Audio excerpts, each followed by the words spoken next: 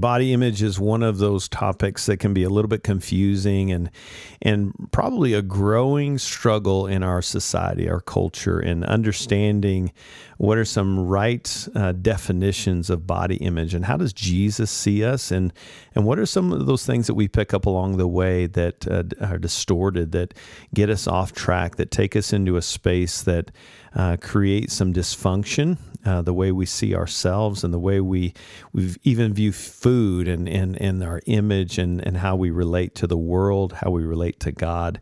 Today, we're going to put some skin on the topic of body image and hear from a couple uh, friends in Christ that have walked through this and are walking through this so that we can hopefully provide some hope around body image.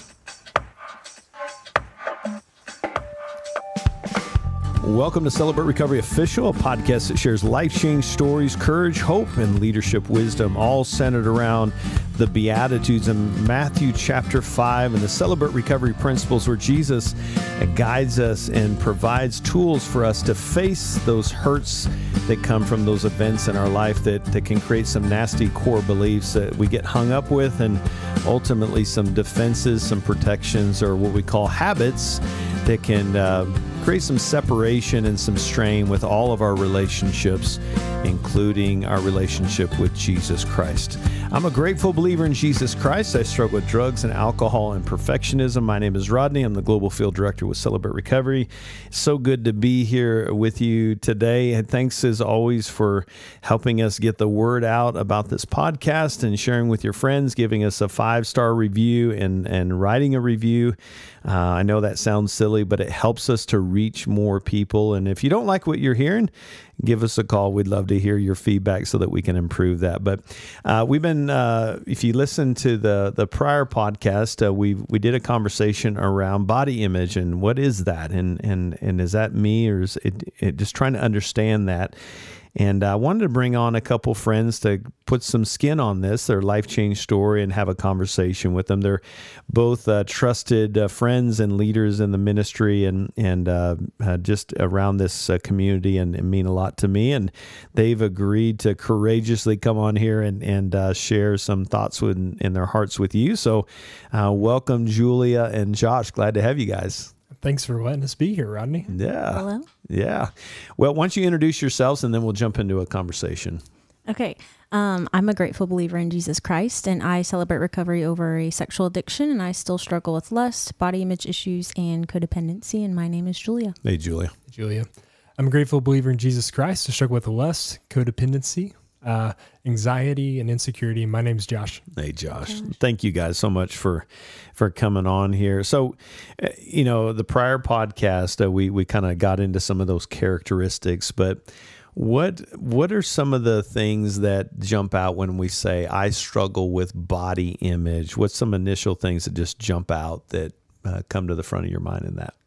I think the first piece of that is I I feel like something's wrong with me when I look in the mirror or when I just I don't know when I go for a walk, when I go for a run, or I or there's some sense of comparison in that. And usually, though, not so much comparing myself to anything specific, but I think to a lot of images that I have in my mind of what I'm supposed to be without really drawing or being very specific specific about what that is. At least that's in my mind. And so lots of feelings of shame, lots of feelings of self hatred, uh, lots of feelings of I'm not good enough, but I'm also not comparing myself necessarily to what I think good enough is supposed to be. That's at least been mm, my good. experience. What would Julie? you add? Yeah, I think similarly, it, for me, it's always felt like, oh, there's some standard that everyone else is meeting or doing, and I am not hitting that standard. Um, and so, which is so funny because I feel like body image issues, so many people struggle with. So everyone feels like they're not meeting this invisible standard. And so, yeah, I think for me, that's kind of what comes to my mind. Yeah.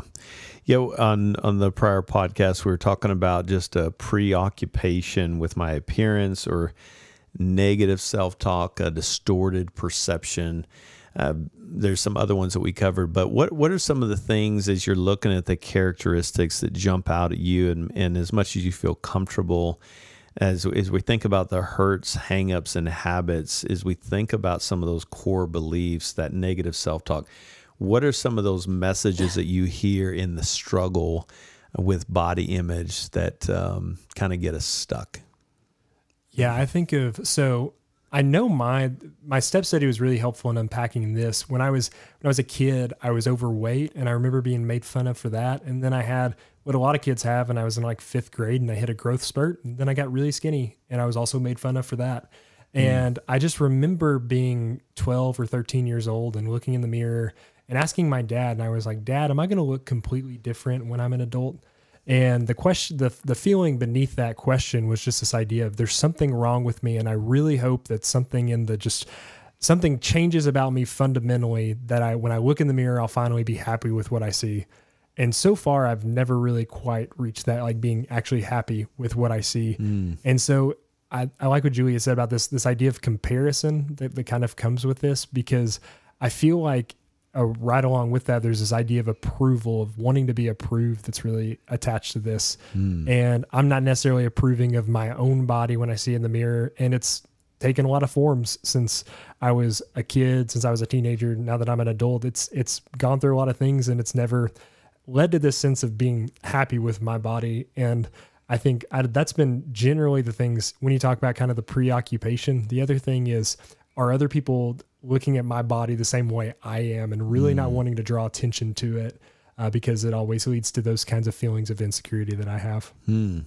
Yeah, I think that's good. I, I think for me, kind of a lot of the core beliefs are that if I'm not meeting some sort of standard that this world has or this culture has around me, then I'm going to be rejected in some way or I'm not going to be accepted.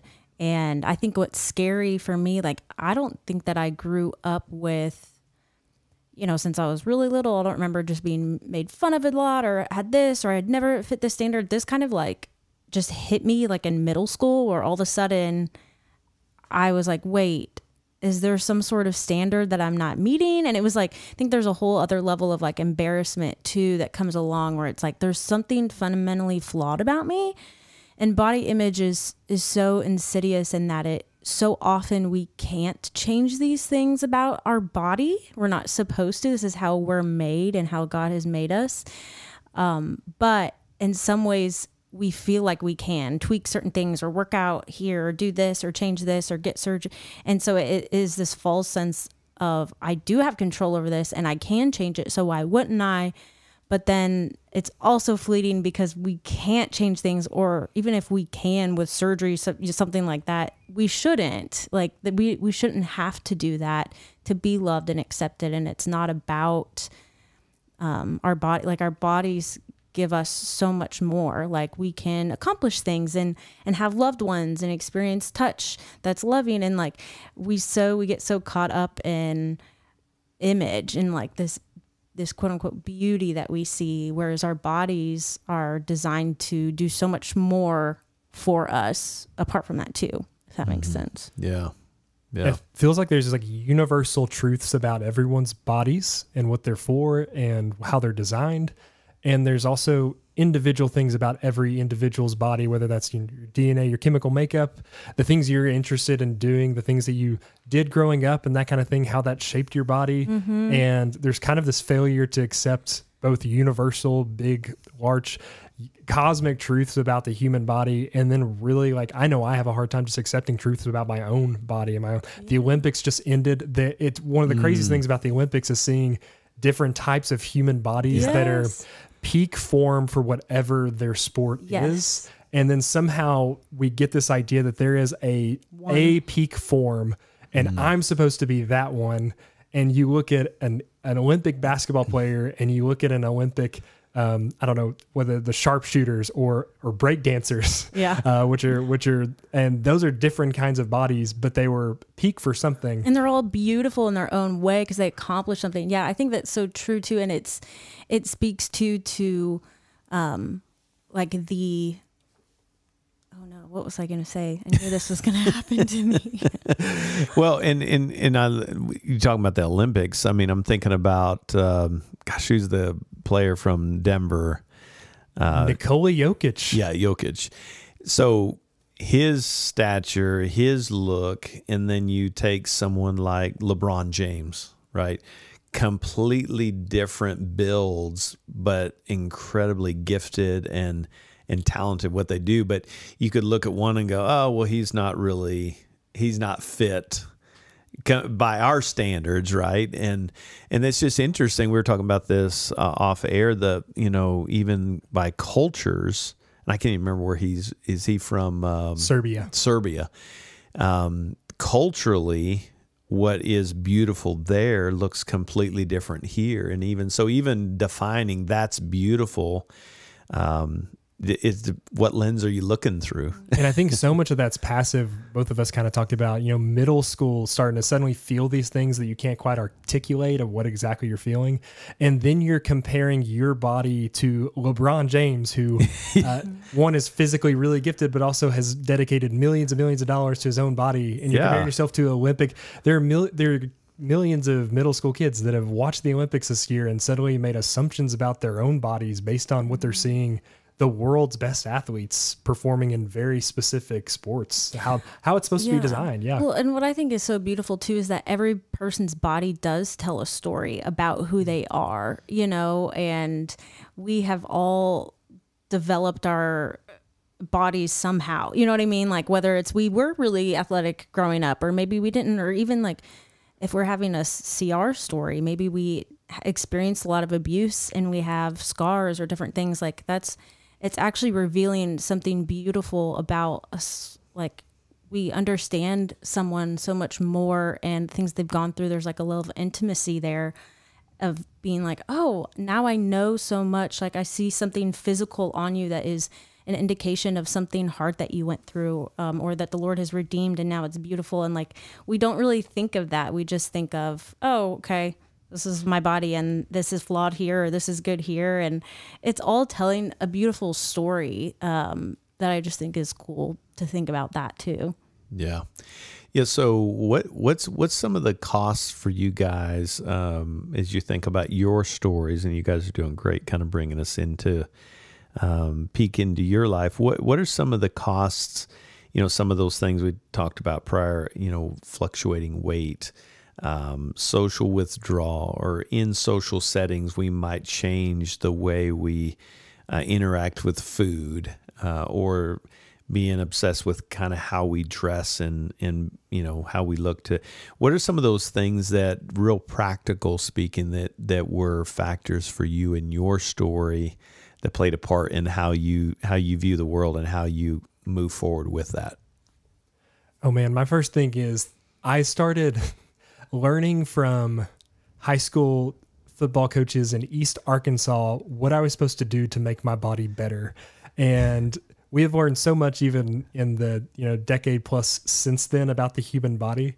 And so there's just this I I these core beliefs that get formed really early about how I'm supposed to go work out and what the numbers well, how much I'm supposed to be uh, lifting, how much I'm supposed, what times I'm supposed to be making running, and it really, on one hand, doesn't give very realistic expectations for even the passage of time hmm. or what it's like to grow and work and have a career and have a family and have priorities. And I think the first thing I think of is priority lists change if we have unrealistic views of our body. The things move up the list that probably don't need to be prioritized as high, whether that's you know, perfect diet or perfect exercise regimen or those kinds of things. And other things get pushed down if we're prioritizing that too high. Mm. Or there's the emotional cost of just looking at myself and, and the self hatred, and it leads into uh, I, I know for me those escapist behaviors where I'm just trying to pull away and find if if I don't like my body, someone that um, that does, or someone that um, will affirm me in those kinds of things, or find some way to earn people's affection. Mm. And I think that's one of the core things I know I run into is just this kind of social cost of am I good enough for other people, and how if I'm not going to earn it through my body, how can I earn that mm. through other ways? So performance or avoidance, whatever those may be, uh, those insecurities always find some kind of payout and or our body or our souls or our hearts are asking questions and then we're asking those questions in the wrong places if we're going to is my body good enough to answer mm, this for me? That's good. Go, go, julia? Oh no yeah. I mean i was just going to say i think for me like one of the one of the first memories i have of kind of I think birthed out this struggle for body image issues for me was um, in middle school, I think, or maybe it was high school actually. Um, just you know, I had a bunch of girlfriends, and I think it was one of those dances coming up. I don't know if it was prom or something. And uh, I was, I really liked this dress that my friend wore the year before, and I was like, "Hey, can I come try on your dress?" I really liked it, and she's like, "Sure." Well, it didn't fit, and it was two of my friends that were there, and I just remember this moment being like, "Oh my gosh!" Like I hadn't previously struggled with, like mm. comparison at all. And then all of a sudden, like in this moment, it was like completely birthed out of it. And it was like, oh, am I am I not meeting some standard that I didn't even realize was there? Like, mm. am I hmm. broken in some way? And I'm, and I don't think that I really had anyone to like go to or process that with. And so I went to the culture, you know, and mm. it's hmm. like how damaging that was. Um, and then all of a sudden it was like, I this huge thing was birthed out where it was like, okay, I need to hit that standard to be accepted, which was not the right, you know, response, but makes total sense that mm. I would have, you know, and so um, it's just heartbreaking how many other women and young men who are still just having those moments every day of not realizing. Mm. I just think about how innocent and young our kids are. Like I didn't, I truly didn't. I remember saying like, I don't really know what makes someone beautiful. Like I, that was like a thing, and then all of a sudden having this happen and this whole world was burned. I think it's just like the beautiful innocence of being like everyone's beautiful. I don't really think about it is like really sweet and. Wow.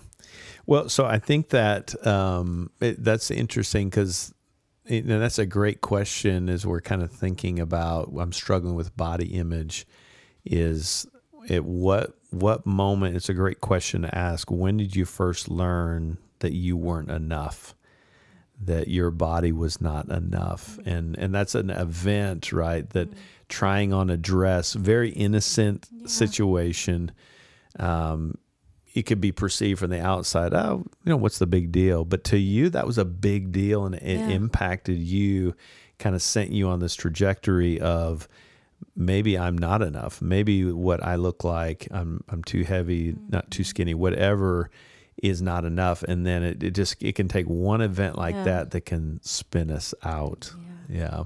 It makes me think of any time like you've gone shopping and you thought you were one size and you found out you were a different oh, size. Just one way or the other. Or the, the other mental image is like shopping as a kid and your mom like makes sure that like the pants fit and you're like, I never want to come yeah. to one of these places again. It's just this this feeling traumatic. of shame that comes so in when you are doing something as essential as buying clothes and that's yeah. back to school season. Um, I was talking to a high school guy yesterday. He's wearing a hat, took his hat off. He'd just gotten a haircut and he was really embarrassed by his by his hair. It was fine. The haircut was fine, but he yeah. was just suddenly very very self conscious. Even very you know, self-deprecating and the humor coming with that but it was it's something that just hits us in all aspects of life yeah. and i think we also just kind of learn how to roll with the punches of it and don't necessarily or at least I've learned to roll with the punches of it and move past that feeling because it's a terribly uncomfortable thing so to sit with. It's really painful. Yeah. There's not a lot of conversations in the high school guys' locker room about yeah. how we're feeling about our own bodies. yes. But that is a place where it is very much on display. Well, we're um, constantly comparing ourselves, right? I yeah. mean, it, it, because that's the way we're wired to to notice people around us and we're constantly kind of sizing up our own selves and how do I match and do I fit in with uh, you know the norm. So there's an interesting thought just came to mind, and I'd love to get your thoughts on this. So, so what do you say? Someone's out there, and maybe they, you know, they're into fitness, they're into eating right, and how do you know when you've crossed the line, mm-hmm. right? Because there's nothing wrong with exercising. There's nothing wrong. We should be eating right. We should be exercising. That's the way our bodies are designed. They need to. We need to get the heart pumping, etc. How do you how do you speak into that to at what point? And we talked about this, the biblical view, what it is, what it isn't. Maybe we can get into that. When have we crossed the line in that? That's a really good question. The first things that come to mind are uh, this question of what your kind of goals you're making and what the end point is for you. And I think this would just be some of the best advice you've given me Rodney, is just to stay curious. And mm. one of those things I think in that space is what is my goal with my fitness, with my health journey, and health being the the normative term, I think, because there are aesthetic goals when it comes to fitness and nutrition. And those might be okay. There's athletic goals, and, and those are totally fine. And setting mm. kind of clarity of what you're aiming for, I think will at least help. And this is, it's important to have, you know, conversations with experts and people in your life that can say, you know, maybe that's an unrealistic goal mm. or maybe that's that's a challenging goal, but I really want to support you in that and how can I help? Those kinds of conversations where it's open. But I think the the problem probably comes into is is if the goals we're making in our heart are ones that aren't, you know, either biblical or human. I think one of the things that happens a lot in the fitness industry is it kind of ignores the reality of the human body. Sometimes our gyms exist or our fitness places exist to pretend like the human body is never supposed to break down. Mm. And while the, the biblical story is that it was never meant to break down, the result mm. of sin and death is that it does. Right. And so that requires a kind of readjustment and it requires Jesus to come and redeem that in our yeah. hearts and in our lives and the body's purpose to be redeemed. And someday it is going to be restored and made new, but that's not that's not the work of fitness and nutrition. That's the work of the Lord. And so I think being really specific and being able to answer what those kinds of goals are would be something I would just have for that person. That's and good. I would encourage everyone to consider, you know, what are the health goals and are they healthy is probably the, the core question. I love that. Well said. Yeah, I completely agree with you of like what's the why? What what's the true reason you're doing that? It could be kind of hard to figure that out though too. I think a practical um just kind of guardrail is um, when you stop listening to your body. Hmm. Like if you are just having starting to have some negative effects for like if you can't get out of bed in the morning because you're just dead tired or like all you're so sore and you're just trying to go through anyway or like you maybe have been eating so few calories and you're trying to run and you can't and you just do it anyway it's hmm. that's not listening to the needs of your body um, and i think that we have kind of lost the ability to listen to our body, even like stress cues. You know, am I stressed when I go for a walk or just do different stuff? But when we push past those things, if it starts negatively affecting our sleep or our relationships, are we prioritizing this above our kids or um, responsibilities that we have? Um, just anything like that. If we if we push past and it does become a compulsion. Rodney, I know you say all the time like compulsions are our head trying to do the work of our heart, mm-hmm. you know, and um, that speaks a little bit to what you were talking about, Josh, of what's the why? What's the real reason you're doing this? Are you trying to fill something? Mm-hmm. Um, I think that the exercise industry does kind of go from zero to a hundred. I know that that's happened to me. Is you know, like last year I was just like, ah, I need to start working out again and like eating better. I've not really been good about this. And it touched that nerve, uh, that memory of body image stuff that was just kind of like lingering in the past. And it, I did, I went from zero to 100. And that's not, that's not a normal or healthy way to start doing anything. We mm-hmm. don't, we don't, we grow into it. We don't go into it, I think is what you say a lot, Rodney. Yeah. And, and so I think that um, just recognizing those kind of compulsion um, signs and then also like what is the why behind this? Are you trying to fill something or is it truly for health mental health and spiritual health? And yeah. it's all related. Yeah it sounds you know kind of the mode what's my motive uh, behind that well, we're going to wrap up with part one right there, and uh, we'll pick up with part two at the next episode. Lots of good stuff. I'm excited for you to hear, but I hope this is encouraging for you um, as we're just trying to put some skin on some of these topics. And and listen, you're not alone in this journey. And if there's something that resonates with you, and and you feel like you want to explore that and and jump into this recovery process, then know that we're here for you, and we'd love and we'd be honored to walk through this process with you. So come check us out on uh, on uh, Friday night wherever you uh, find Celebrate Recovery. Thursday night, Wednesday night, Sunday night, whatever night of the week, just uh, jump in. Thanks for being with me today. I pray you'll join me next time. Until then, God bless you.